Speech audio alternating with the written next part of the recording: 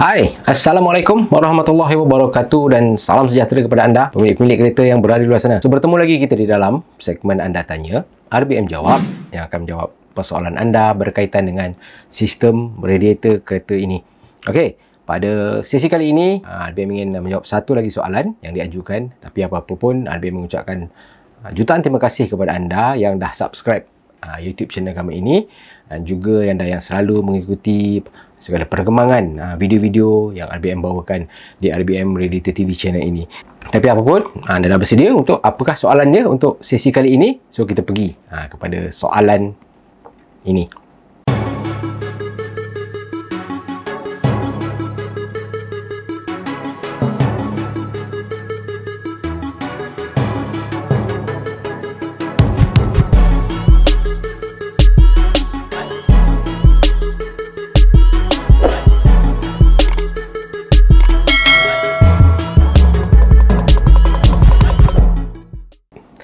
Saya ingin bertanya, sukatan untuk coolant bagi kereta 2.0cc.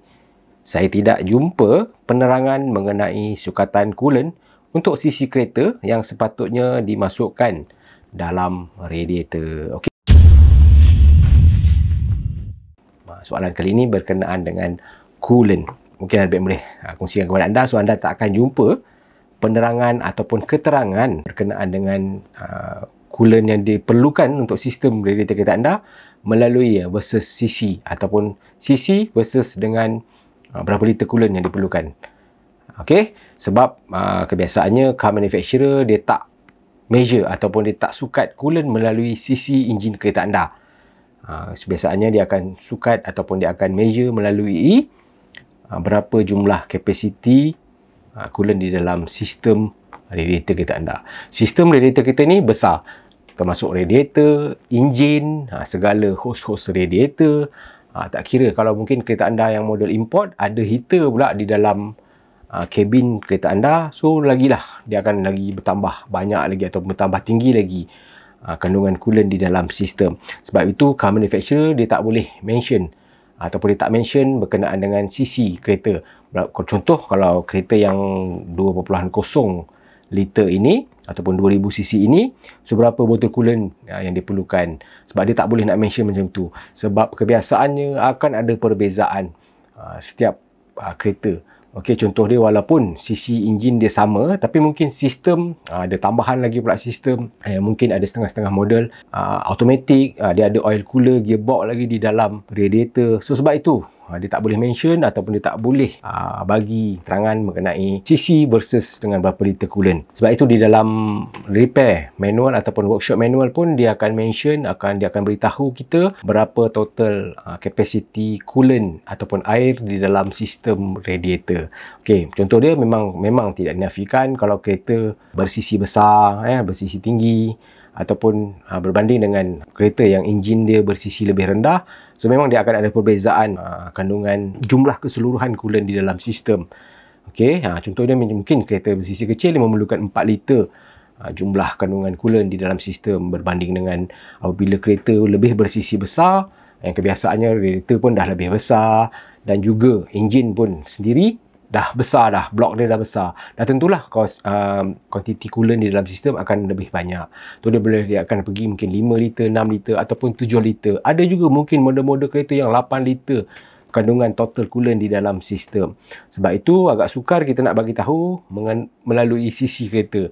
Biasanya benda-benda macam ni ataupun ha, kandungan coolant di dalam sistem ni memang agak sukar ABM nak sampaikan satu persatu sebab terlalu banyak model dekat Malaysia ni, dekat negara kita Malaysia ni pun dah macam-macam dah model. Ha, yang model ni ada spek macam ni, ada spek macam ni. Okey, dia banyak daripada akan ada perbezaan. Tapi perbezaan tu kebiasaannya taklah banyak sangat. So yang paling tinggi pun dia akan membezakan mungkin satu ke paling tinggi pun 2 liter lah di dalam sistem sistem radiator kereta anda. Sebab itu kebiasaannya uh, kalau anda yang mungkin uh, muskil ataupun was-was tak confident berapa liter nak diperlukan ataupun coolant nak diperlukan berapa botol untuk kereta anda so gunakanlah coolant premixture yang sebelum ni RBM dah sampaikan dan kongsikan kepada anda. Senang coolant premixture ni kita terus tuangkan ke dalam sistem uh, radiator. Tak perlu nak bancuh berapa liter air berapa liter coolant terus campurkan ataupun tuangkan dalam sistem radiator kereta anda. So tapi kepada anda yang nak menggunakan coolant yang raw ni yang anda nak campurkan dengan air ni, so kalau anda tak jelas, so bawalah berjumpa dengan pakar. So okay, dia orang lebih arif tentang uh, campuran ataupun mixture coolant di dalam sistem uh, radiator kereta anda. Dan memang anda tidak akan jumpa uh, info-info ataupun keterangan berkenaan dengan sisi kereta versus berapa liter coolant anda nak pakai di dalam sistem radiator kereta ataupun perlukan di dalam sistem radiator kereta anda. Okey agak-agak anda jelas lah dengan apa sedikit penerangan ringkas yang RBM berikan kepada anda ini. So diharap uh, sedikit sebanyak dapat membantu anda ataupun dapat menjawab soalan daripada sahabat kita yang mengajukan soalan ini. So jika anda rasa video RBM ini bermanfaat uh, untuk anda ataupun untuk lebih ramai lagi pemilik-pemilik kereta yang berada di luar sana, so anda jangan lupa uh, sharekan video ini dan juga anda boleh like video ini dan subscribe YouTube channel kami ini serta tekankan notification supaya anda tidak terlepas segala video-video yang RBM bawakan di masa-masa akan datang. Sampai kita berjumpa lagi. Assalamualaikum warahmatullahi wabarakatuh. Masalah radiator, tanya RBM.